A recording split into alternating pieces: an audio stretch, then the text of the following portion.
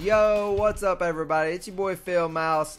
And dude, I'm gonna go ahead and say it. I'm ready for some Black Ops 3. Like, I'm fucking bored over here. My PlayStation is just like begging for Black Ops 3 to be inserted in her.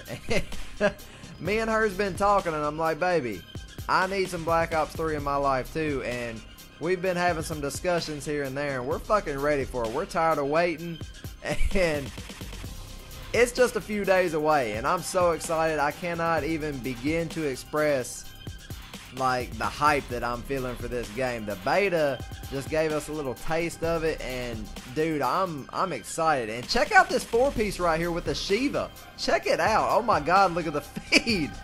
But anyways, I want to talk about my game plan for the midnight release of Call of Duty Black Ops 3. I do the same thing every year. I always go to midnight releases at GameStop. I find it I don't know, it there's something about going to a midnight release that just gets me even more hyped up. I'm a big Call of Duty person and I don't know, it's like when I pull up to GameStop and I see all the people lined up waiting for this this new Call of Duty every year to drop, it just gets me hyped, dude.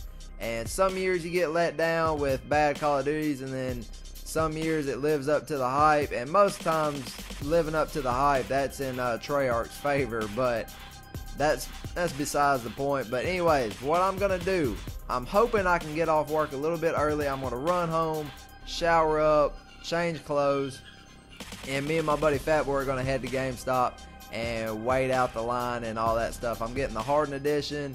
I'm super pumped for the steelbook case. The the zombie shit on the back of it looks like it looks nasty, dude, and I'm pumped for it. But anyways, the people who are wanting to play zombies with me on Thursday night. I'm gonna wait until Friday morning to play zombies. I told my buddy Blaine that I would wait on him. He has to work Thursday night. He works third shift, so I'm gonna be grinding out multiplayer uh, until the sun comes up when he gets home, and we will hit up some zombies. But let me know in the comments what it, what is your game plan? Like, what are you planning to do the night Call of Duty Black Ops 3 comes out?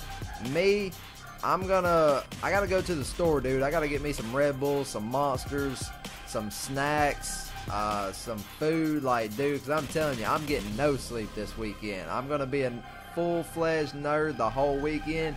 If you try and contact me, I'm probably not gonna reply. Just just go ahead and just just hit me up on Monday. But anyways, let me know in the comments what is your plans for Thursday night and I will catch y'all later. Peace out.